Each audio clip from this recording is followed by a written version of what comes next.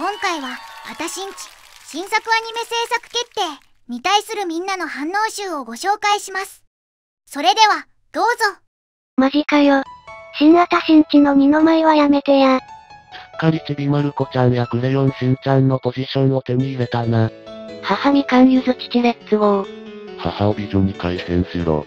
昔のノリでやってほしいなあのパンチも聞いた話だからこそおもろいねん。地味に YouTube 伸びてるよな。昔のあたしんちに寄せろよな。クレヨンしんちゃんって四天王の中では最弱みたいなポジションやけどそれでもコンテンツとしてはやっぱすごいんよな。あたしんち結局クレヨンしんちゃん倒せなかったし。時々 BS 朝日でやってるよなあたしんち。最近のエピソードつまみしてるからネット民に叩かれそう。YouTube で謎に人気あるよな。声でなさそう。あたしんちのお父さん40くらいで意外と若い。四天王方式で言うならチャンピオンがアンパンマンで、四天王がドラえもん、コナン、サザエ、クレヨンしんちゃん。その下の幹部みたいなとこでちびまる子とポケモン、あたしんちとかが入るんじゃね。ポケモンは老若男女見れるアニメとは言えないから国民的というのは違和感。アベマで永久に流れてるアニメ。家族全員おかしいのが怖い。貧しくなりすぎて夕食のおかずネタららえなくなってそう。親父の頭がおかしいのは覚えてる。トイレの水飲むらしいな。主題歌は金木犀にしろ。YouTube 配信だけか。ボーボボって最初クレシン、あたしんちと同じ時間にやってたよな。家族で飯食いながら見てた覚えあるわ。こっちもリメイクしねえかな。別に声優は刷新してもええよ。言うほど声覚えてないし。昔の再放送するだけでいい気がするんやが。なんでわざわざ再アニメか？めっちゃ動くようになるんか？映画好き。小型健一さん80代でまだ現役ですごい。地上波やなくて YouTube で配信するし。その YouTube にはすでに過去の全部あるから30周年企画のファン向けやね。声変わってねえだろな。マギアンケ。アニメ第1期2002年から2009年。さ、90年代だと思ってたら。新型新地の時点でおもんないのにさらに劣化しそう。ババア声のみかんとか聞いてられないからイメージ合ってれば若手でええよ。ちびまる子みたいに連載時の時代設定で行くなら気になる。こいついつも再アニメ化してんな。ゆずの声優とかも隠居状態だけど声出せるんか。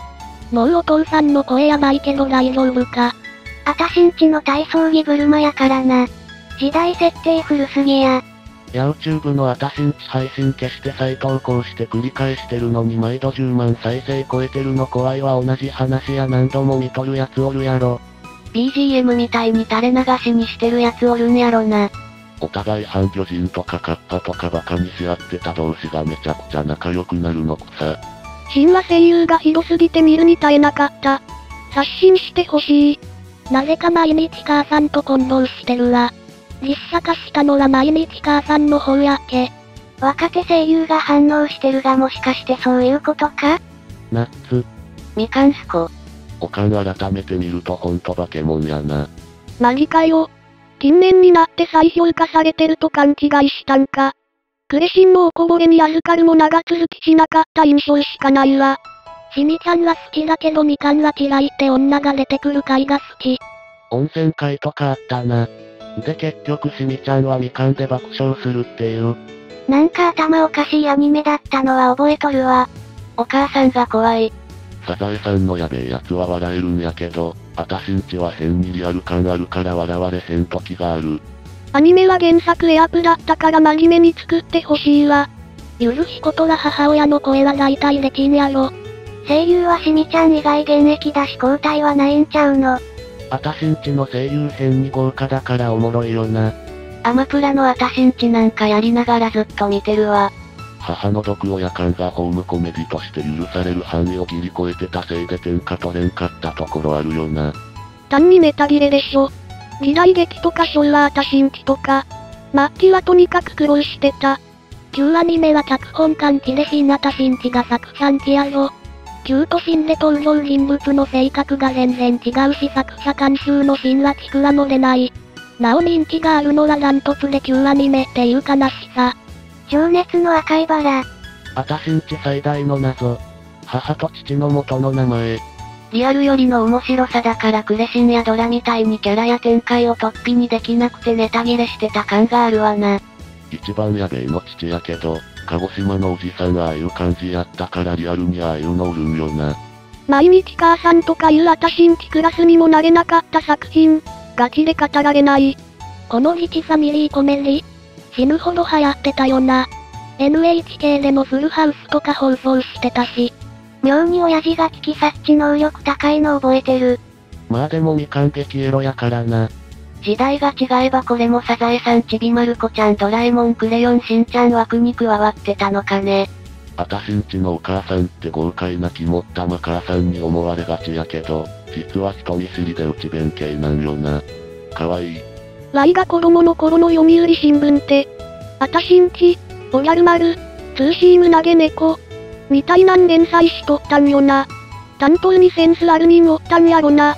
みかんがエッチすぎるせいで流行らなかったという風潮。あたしんちは兄折の質が悪いのと絶妙に子供視点でイラッとくる話多いのがね。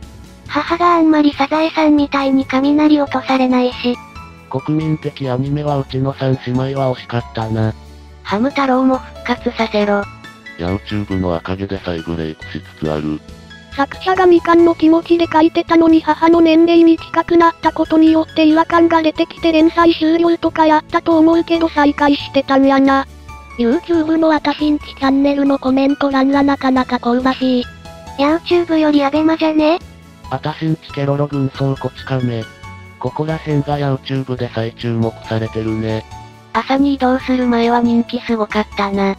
新あたしんちはアニマックスが金出したんだよな。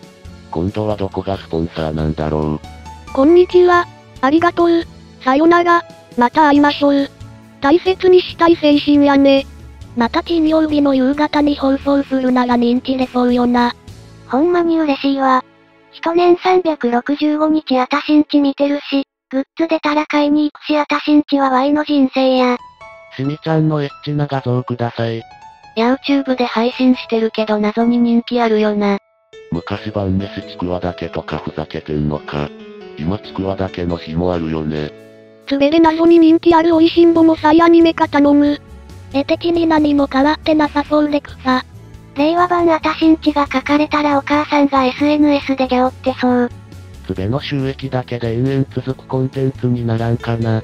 あたしんちは声変わったしんちゃんの代わりになれるやろ。映画化した実績があるという事実。子供の時なんやこの親。大人になった時なんやこのガキ。子供の時と大人になった時であたしんち見ると印象変わるよな。来の地元に、3年しかやってないから国民的感ないわ。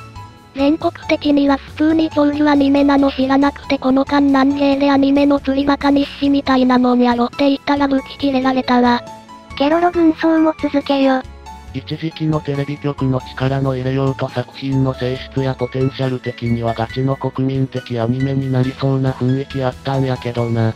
十分すごいし育成失敗とは言わんけど想定よりはかなり小さくまとまった感ある。なぜ国民的アニメになれなかったのか。素質はあったはず。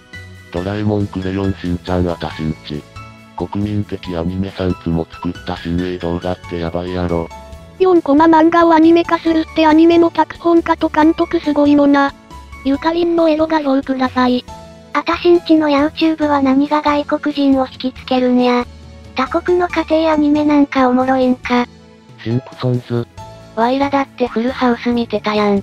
アベマであたしんちばっかり見てる。アベマのアニメランキング2位やぞ。一度離れるとしばらく見なくなるけど一度見始めるとしばらく狂ったようにこればっか見るようになる系アニメの代表格やね。子供の頃は良さがわからなかったけど今見るとおもろい。うおー